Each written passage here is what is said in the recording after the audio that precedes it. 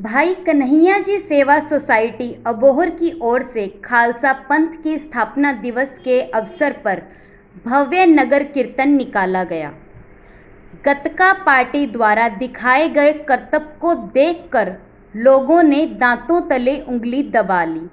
शनिवार को वैसाखी पर्व के उपलक्ष्य एवं खालसा स्थापना दिवस के अवसर पर श्री गुरु ग्रंथ साहिब जी की छत्र छाया में पाँच प्यारों की अगुवाई में भव्य नगर कीर्तन का आयोजन किया गया। यह नगर कीर्तन अबोहर से चलकर मलोट, लंबी, डबवाली रामा मंडी होते हुए श्री तलवंडी साबो पहुंचकर संपन्न हुआ। डाबावाली पहुँचने पर नगर कीर्तन का भव्य स्वागत किया गया।